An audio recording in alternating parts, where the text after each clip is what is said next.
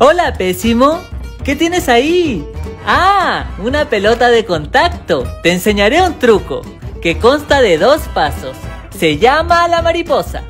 Primero, con el brazo y la mano recta, pondremos la pelota en el reverso de la mano, haciéndole un espacio con el dedo medio.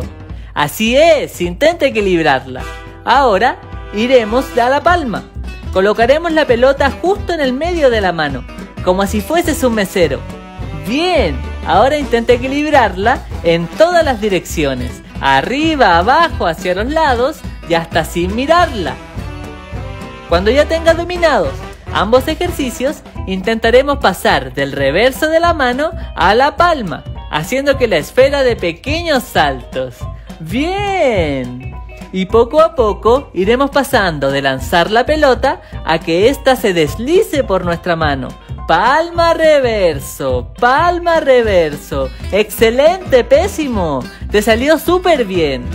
Y sin pegamento, ¿ah? Recuerda entrenarlo con ambas manos. Que te vaya bien, pésimo.